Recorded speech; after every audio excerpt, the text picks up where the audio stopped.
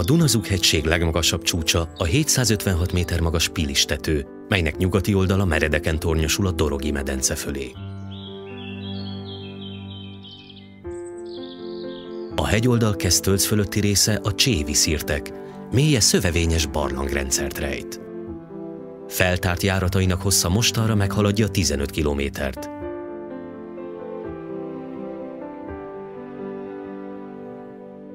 Pedig 20 évvel ezelőtt e barlangoknak csupán tizedét ismerték.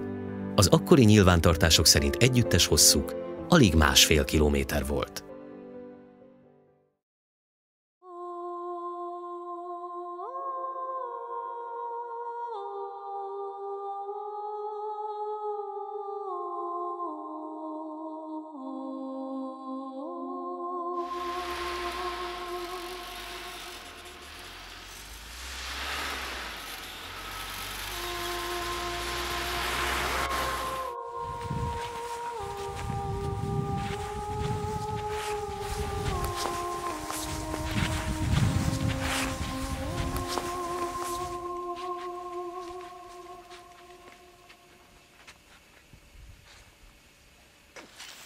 ...1990-ben a barlangkutatóknak a Csévi szirteken csupán két nagyobb üregről volt tudomásuk. A legénybarlang impozáns bejárata ma is kedvelt turista célpont. Párja, a leánybarlang, tőle kőhajításra nyílik a meredek hegyoldalban. Mindkettőt az első világháború előtt tárták fel, mégpedig a magyar barlangkutatás atyaként tisztelt Kadics Ottokár irányításával.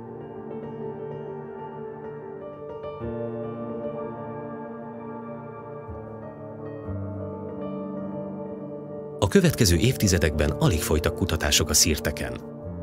A legtöbb barlangász nem sokra tartotta ezeket a pár száz méter hosszú barlangokat, az alkalmi kincskeresők többsége pedig hamar megrettent a szűk járatoktól.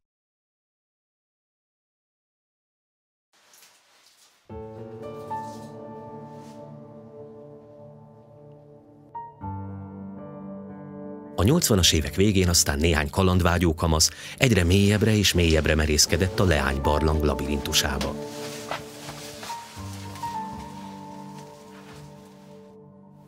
Az, hogy mi a Pirisegységben kezdtünk el kutatni, az nagyrészt annak köszönhető, hogy itt lakunk Szentendrén, meg Budapesten. Ezeket a barlangokat kezdtük el járni a, a kezdetekkor, és akkor itt figyeltünk fel arra, hogy, hogy lehetne ezeket komolyabban is kutatni. Van itt még felfedezni való az volt a jelszavunk, hogy minden utat járjunk be az erdőben, aztán nézzük meg az összes sziklát. A gyalogtúrázásból szépen átmentünk a barlangászásba. Itt kezdődött az, hogy akkor rengeteg, hatalmas, szép és mindenféle változatos barlang van. Na keressük meg! A Pilist járva megismerkedtek idősebb, gyakorlott barlangászokkal. Megtanulták a barlangjárás alapjait, és lassan kialakult a csapatban az a munkamegosztás, ami a mai napig is működik.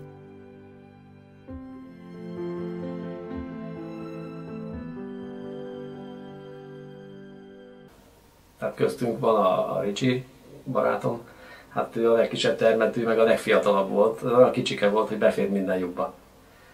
Aztán volt az erős ember, öcsém, ő meg ugye minden követ jól megfogott, és akkor ő aztán odébb rakta, Hát én meg, én meg ugye követtem őket, és segítette meg, nekem volt jogosítványom, és aztán a helyszínekre meg így jutottunk el, hogy én vezettem az autót, és akkor így mindig együtt mentünk mindenhova. 1991 tavaszán a Leánybarlangban ráakadtak egy a térképen nem szereplő járatra. Azt hitték, új részt fedeztek fel. Ezen felbuzdulva több ponton bontani kezdték a barlang végét eldugaszoló törmeléket. Hihetetlen szerencsének köszönhetően pár hónap alatt felfedeztek több száz méter valóban új járatot. Ráadásul az újonnan feltárt részek pilisi viszonylatban látványosak voltak. A tágasnak számító termekben fel is lehetett állni, és még cseppkő is akadt bennük. A fiúk először csatlakoztak a Föltani Intézet barlangász csoportjához, és később ebből alakult az Ariadne Karszt és Barlangkutató Egyesület. Bejárták Magyarország és Európa hegyeit, barlangjait, de az első felfedezések örökre megpecsételték sorsukat. Akárhány izgalmas, gyönyörű helyen megfordultak, legfőbb kutatási területük mégis a csévi szírtek maradt. Az iskola később már a munka mellett hétvégenként kitartóan kutattak itt, holott évekig alig találtak valamit. Hiába mozgattak meg minden követ, a szószoros értelmében is, a kezdeti sikereket sokáig nem tudták megismételni.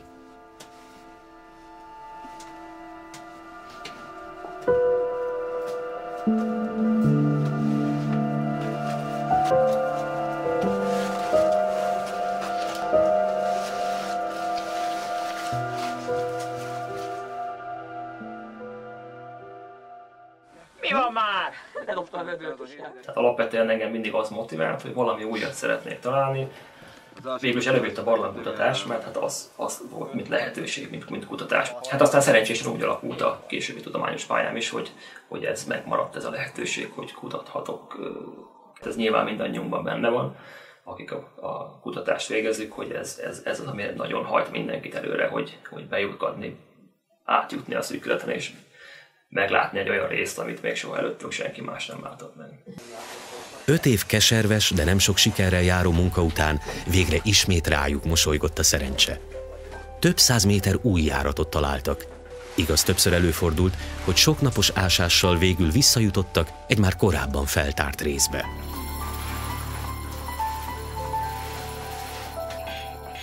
1997 tavaszán is ez történt, amikor a legény barlang mélyén az egyik szűkületet bontották. A sziklák közt süvítő húzatot biztató jelnek tekintették, hisz e jelenség tágas folytatást sejtetett.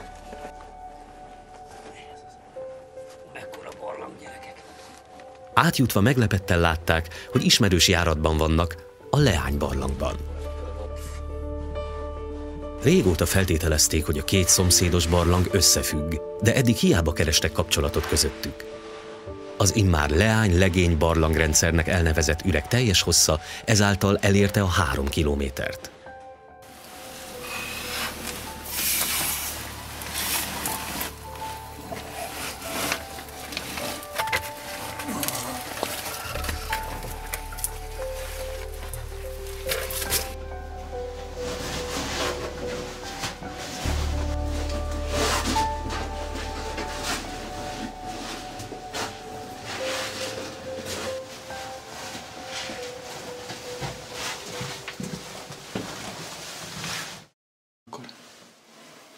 További eredményes munkához nélkülözhetetlen volt egy pontos térkép.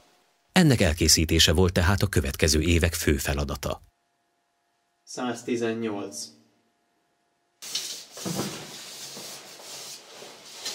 Oké, okay, nullán van? Igen. 225. Oké. Okay. A csoport tagjai hamar rájöttek, hogy a feltárt barlangokat nem csak dokumentálni, hanem a rongálások miatt sajnos védeni is kell. Ezért valamennyi bejáratot erős vasajtókkal látták el, hogy megőrizzék ennek a zárt és immár lezárt világnak minden szépségét.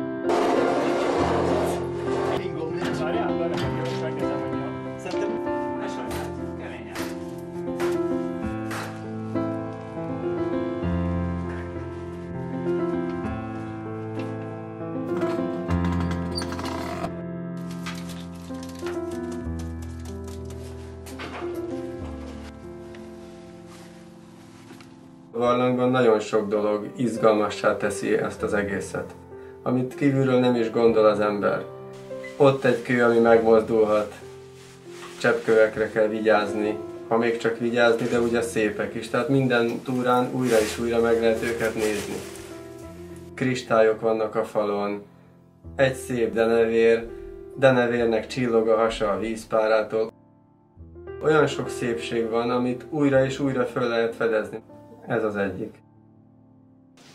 A másik meg az akció.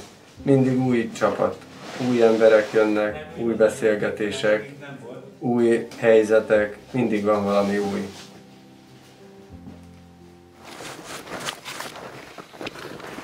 A barlangok feltárásában a véletlennek hatalmas szerepe van. Gyakran megesik, hogy egy ígéretesnek látszó bontás zsákutcának bizonyul, ez azonban csak több köbméter üledék kihordása után derül ki. A szerencsén túl azért a tapasztalt szem felfedezhet olyan jeleket, amik segítik a munkát. A húzat mellett a denevérek nyomait érdemes figyelni, mivel e csöpnyi állatok tenyérnyi lyukakon is keresztül tudnak szállni, bejutnak a feltáratlan részekbe, és sokszor ott is pusztulnak el.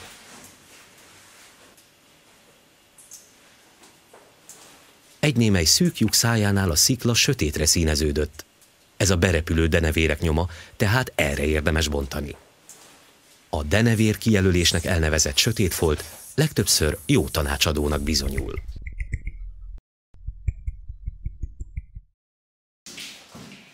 E megfigyelések azonban nem sokat árulnak el a nagy összefüggésekről, arról, hogy távolabb mit rejt a mély. Ezt tudományos módszerekkel vizsgálják, felhasználva a legújabb technikát is. Most már tudja, hogy hol van? Mindjárt megnézzük, hogy mit tud.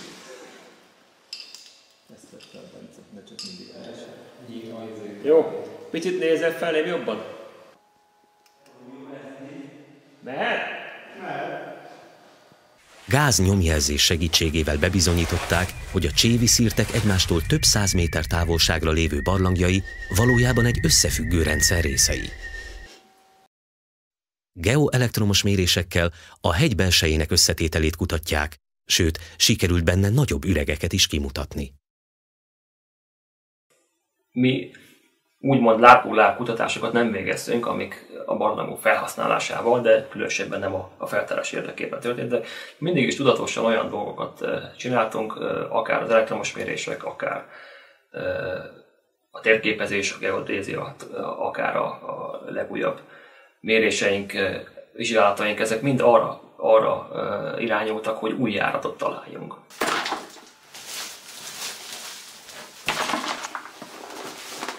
Mindeközben a csoport tagjai a cséviszírtek oldalában is megbontották az ígéretesnek tűnő hasadékokat, ahol jó pár rövid, mindössze pár méter hosszú barlangot találtak, és feltárták a 600 méter hosszú indikációs barlangot. Az ősi barlang egyik üregében 5000 éves, részkorból származó cserépedényekre, valamint emberi és állati csontokra bukkantak.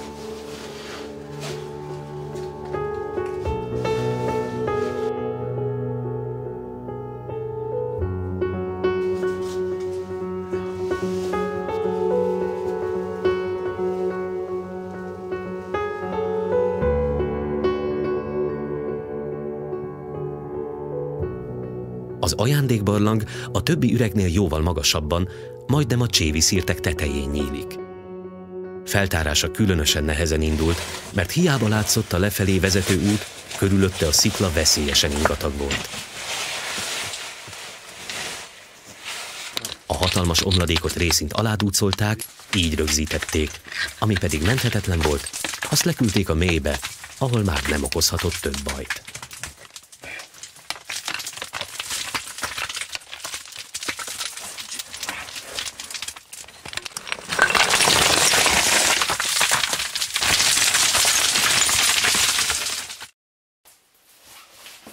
Hosszantartó és veszélyes bontás jutalmaként feltáruló ajándékbarlangban a Pilisben addig sosem látott szalmacseppkövekkel borított járatokat fedeztek fel.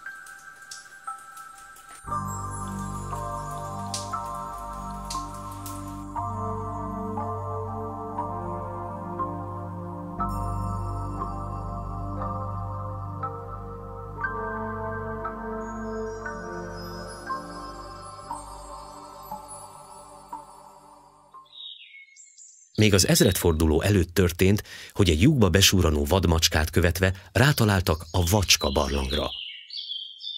Az üreg csak egy volt a hegyoldalban nyíló sok apró barlang közül, így évekig nem is foglalkoztak vele. 2007 nyarán figyeltek fel a barlangból kiáramló erős húzatra, ezért a Szentözsép barlangkutató csoport tagjaival közösen ismét nekiláttak a kutatásának. A következő év májusában bejukadtak egy szűk hasadékba, aminek kitágítása után 800 méternyi járatot tártak fel szinte akadálytalanul.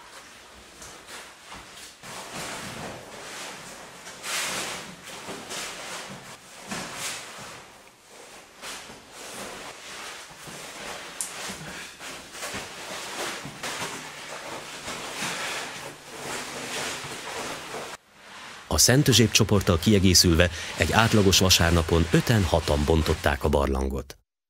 Egymást érték a látványos felfedezések, és alig két évvel később a Vacska barlang feltárt hossza már meghaladta 6 kilométert, ezzel elhagyta a leány legényrendszert, és a Vacska lett a Pilis leghosszabb barlangja. Annak, aki a Vacska barlang mélypontjára akar lejutni, annak egyre sárosabb, vizesebb aknák során kell a hegy gyomrába ereszkednie.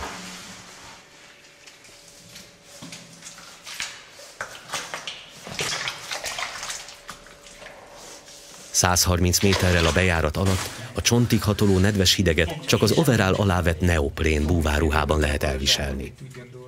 A fiúk próbáltak tovább jutni a híg agyakban, amíg végül elérték a járat alját elzáró vizet. Valamelyikötök nyúljon le a zsákja. Hát ez most...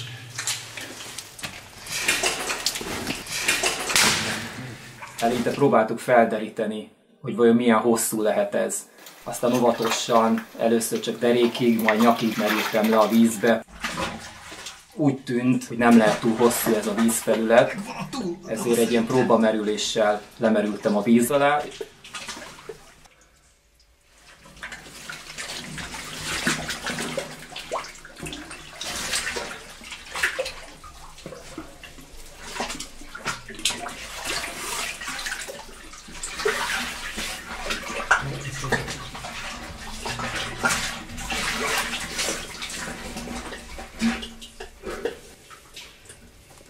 Levegő? Igen, hallatok? Igen. Igen. Hát egy szűk fül, egy kis fülkében vagyok, de visszanézve úgy látom, hogy látod a fényem? Látom. Van egy kis légrés. És folytatás? Az a helyzet, hogy itt folyik egy kis cseppkő, és azt hallottuk, a túloldalról folyik be a víz a szifonba.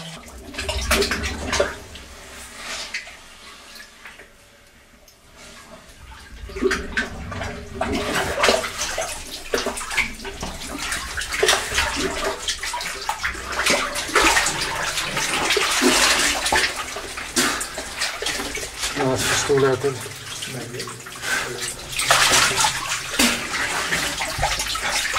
Gratulálok, Ricsikén. Jó volt.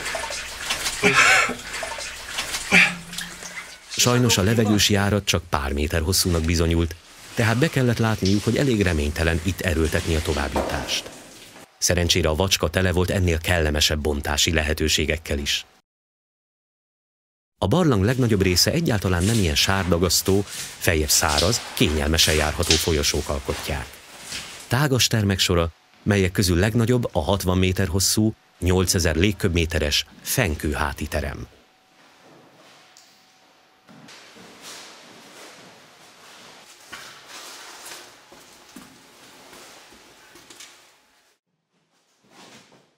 A vacska barlang képződményekben rendkívül gazdag, Gyakoriak benne a cseppkővel borított folyosók, lefolyások, cseppkőzászlók, valamint a kisebb-nagyobb tetarát a medencékben barlangi gyöngy is előfordul.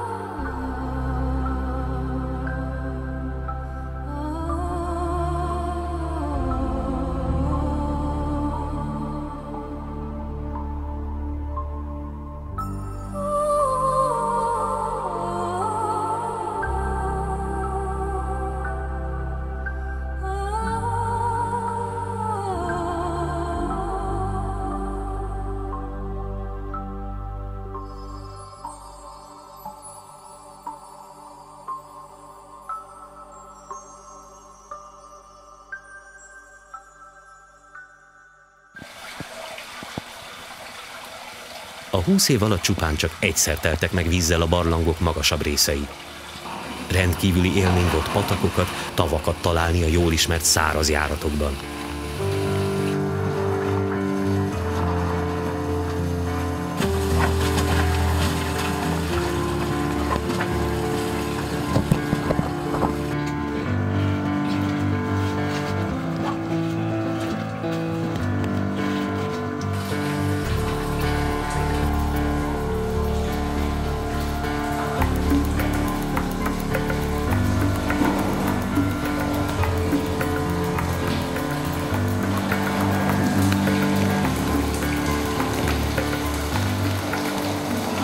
Sajnos ez a különleges állapot csak pár óráig tartott. A lezúduló víz, ahogy jött, gyorsan el is tűnt.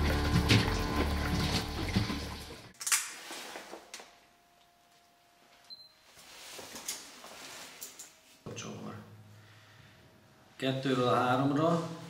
A vacska barlang térképezésekor derült ki, hogy az egyik járat pár méterre megközelíti a legény barlangot. Csapat tagjai tudták, hogy ha sikerülne összekötniük a Pilis két leghosszabb barlangját, az feltenni a koronát az eddigi kutatásaikra. Nagy lelkesedéssel álltak neki a bontásnak, azt hitték, napokon belül meg lesz az összeköttetés. Aztán sok nap, két oldalról való próbálkozás után kiderült, a két legközelebbi folyosót tömör sziklafal választja el egymástól. Elkeseredetten kénytelenek voltak feladni a kutatást.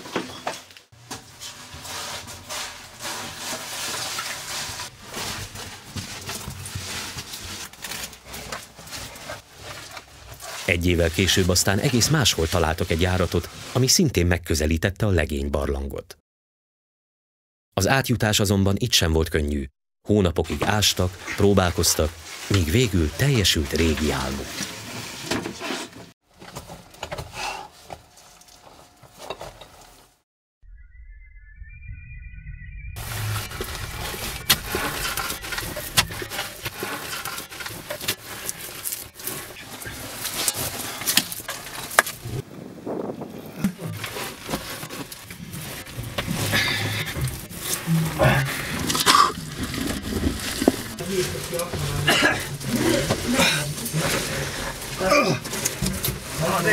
Az első átmenet? Magyarország harmadik leghosszabb barlangja. Gyere Gergő! Hát félre! Át fogsz férni. Kényelmes. Hát az ja. Csak én hozom már a vizes Hihetetlen, végre! Hosszú munka volt.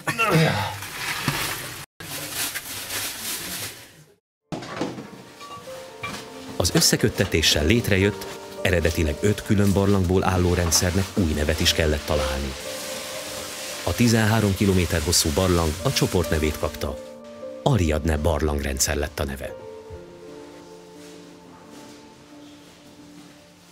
Elértünk mi az elmúlt 20 évnek az első felében is nagy eredményeket, hazai viszonylatokban pláne, és lehet, hogy nagyobb publicitást kellett volna már akkor adni ennek. Aztán úgy a csapat kezdett ráébredni arra, hogy, hogy ez, ez fontos, hogy mi egy kicsit nyissunk, és az utóbbi években már, már szerencsére tényleg máshogy állunk ehhez a kérdéshez. Elkészültek filmek, amiket bemutattunk, próbálunk hírt adni arról, akár az interneten, vagy kiadványokon keresztül, hogy mégis mit csinálunk, és örömteli meglepetés, hogy vannak visszajelzések ballangos körökön kívüli emberekről is, akik nagyra értékelik azt, amit mi ott elértünk. Jó. Meglehetősen zárkózott első tíz év után lassan elkezdünk kinyílni, és próbáljuk ezt az egész siker történetet megismertetni másokkal is de attól tartok, hogy azért továbbra is a, a, a fő, fő öröme mindenkinek az lesz, hogy, hogy menjen a föld alá és kutasson, és az csak egy másodlagos lesz, hogy utána ezt be is mutassuk. Amik mostanában ez alatt az elmúlt 15 évet értem, előkerültek, azok olyan ö, csodák, amikre a Pilisbe tényleg nem számítottunk. Egyrészt a belső méretek is nagyon jelentősek tudnak lenni, különösen a vacskabarnak különböző kőháti termei, akkor ugye itt a több méteres állócseppkövek, amíg eddig csak aktelken esetleg a pikbe fordultak elő Magyarországon. Jelenleg egy olyan 13 kilométernyi járatrendszert ismerünk, és hogyha sikerülne megtalálni az összekötő szakaszokat a különböző rendszerek között, akkor figyelembe véve azt a borzasztó nagy járatsűrűséget, ami a Csévi-szirtek barlangjait jellemzi, akkor valószínűsíthetően még legalább ugyanennyi feltáratlan járatrendszer rejtezik a sziklák mélyén. Hogyha az ajándékbarlangot és az Ariadne rendszert összekötnék, pontosabban felfedeznék a köztük lévő feltételezett járatokat, akkor ennek a teljes rendszernek a vertikális kiterjedése valahol 300 méter közelében. A legmélyebb magyar barlang lenne, hiszen a mostani legmélyebbek egyike sem éri a 250 métert.